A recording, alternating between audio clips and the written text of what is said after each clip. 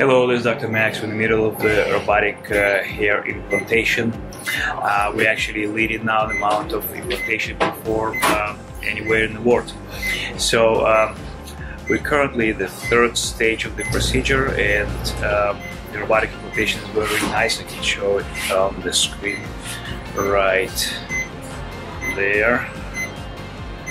So the robot uh, places grafts uh, individually instead of the technician so uh, there's very minimal impact on um, on the graft itself.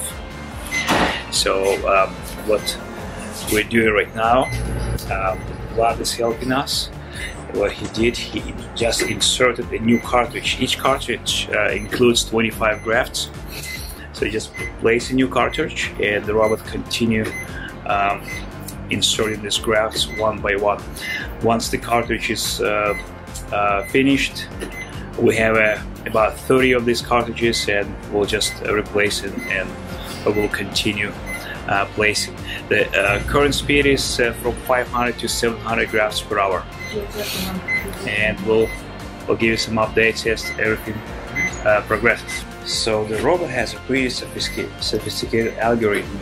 it will uh, place graft and wait till they settle in before coming back and, uh, for the second or third pass. And we can um, preset the density of those grafts up to 40 grafts per square centimeter, as well as direction of the hair and uh, the angle of the uh, hair being inserted. Again, the robot is still going strong uh, we're close to 200 grafts being transplanted robotically. And you can see here,